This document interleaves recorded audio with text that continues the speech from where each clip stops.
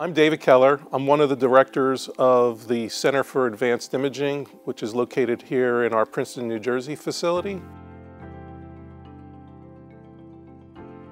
So throughout my 26-year career here at uh, was used to be Sarnoff and then SRI, I was involved in a lot of different programs. Uh, I'm a mechanical engineer by training and what our group does is make custom imagers and basically four different areas. Um, we do work in custom imagers for spectroscopy, uh, for low light imaging for the government.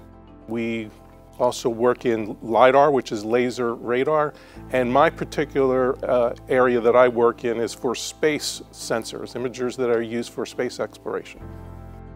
One of the reasons I like working on these space programs is um, because it is for, I would say, the good of mankind to advance our knowledge.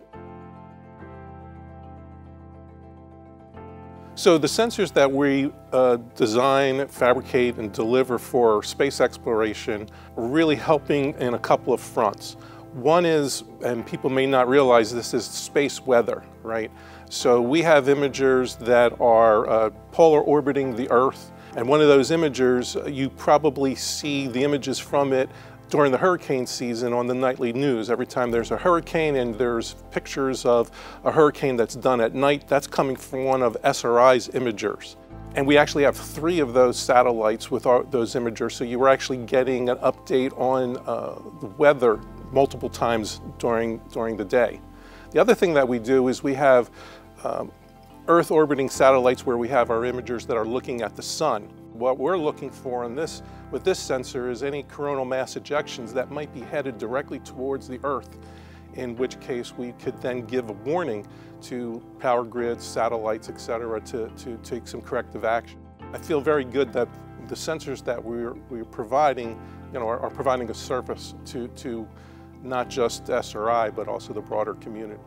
For space exploration, we have imagers on various satellites that are either already launched in space and they're exploring our sun or sensors that are going to be launched soon that are looking at uh, planets and our solar system in general uh, to see how stars have uh, formed and evolved.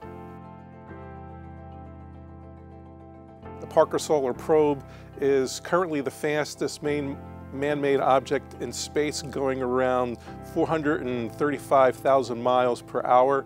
It's also the closest object uh, to the sun uh, within about 3.8 million miles of, of the surface of the sun. So the custom imagers that SRI makes um, obviously have to withstand the rigors of space. That includes things like the temperature extremes in space, the radiation that it would see, and that's part of our expertise that we bring to the field is being able to make these custom sensors that can survive those extremes.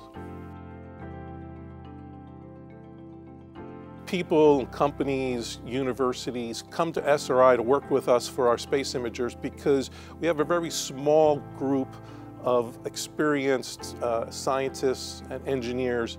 You can work with us to customize what your needs are. We can develop a very specific sensor to exactly what your needs as compared to a mass production device where you have to fit within the niche.